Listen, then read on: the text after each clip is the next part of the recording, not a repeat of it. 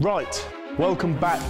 In this episode, we're going to give you an exclusive behind the scenes look at Alton Towers Resort's brand new, globally unique experience, codenamed SW8. So we've put cameras all over the building site for 24 hours. We put microphones on the workers just so you can hear the innermost secrets of